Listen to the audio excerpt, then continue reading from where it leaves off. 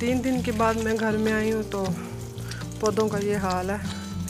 तो मैंने कहा पहले फ़र्श दो, सफाइयाँ सारी की हैं, फ़र्श धो रही हूँ अब। ये बाहर वाला सैन धो रही हूँ, सारा धोया कपड़े धोए थे। और अब बस सफाइयाँ करके बाद लूँगी और उसके बाद आज फ्राइडे है और जुमा की नमाज़ खाना शाना बस घर में आओ तो काफ़ी दिनों के बाद यही हाल होता है घर का।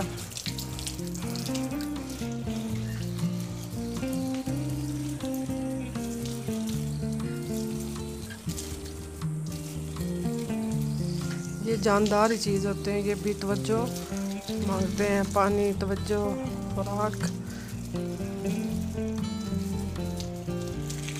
मैंने विंटर में एलोवेरा लगाया था, लेकिन सर्दियों में तो ये बिल्कुल ग्रो नहीं किया, लेकिन अब माशाल्लाह।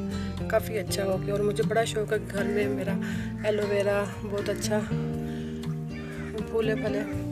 और कुछ पौधे ये हैं, अभी इनकी कुछ चाँद पटक करनी है, सफ़ाई इसकी भी करनी है। तो साथ बरस दूँगी और साथ इनको साफ़ करूँगी। ये यहाँ से इस पर भी बहुत ज़्यादा गंद बना हुआ है। ऊपर अमरूद का दरख्त है तो वो सारा गमलों में उसके पत्ते वगैरह आके गिरते हैं। तो उखड़ ही गया मुझसे मुझे। चलें, इसको मैं दोबारा लगाती हूँ।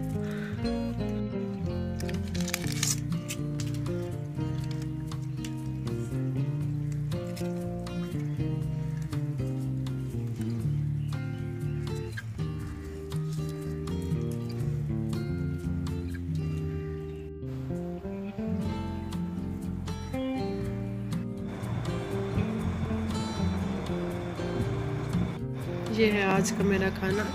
हम्म, जुमे की नमाज़ पढ़ने के बाद मैंने फिर खाना बनाया और मेरे हस्बैंड की कॉल आ गई थी।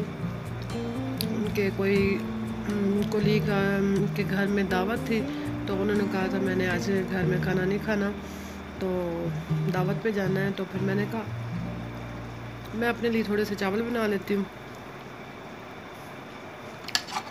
तो बस मैंने फिर अपने लिए थोड़े से चावल बनाए। कोई भी नहीं था कि दही में मंगवा सकूँ लेकिन चले, ऐसे गुजारा करते हैं आज दही के बगैर, क्योंकि मुझे दही के बगैर चावल खाना बिल्कुल भी पसंद नहीं है।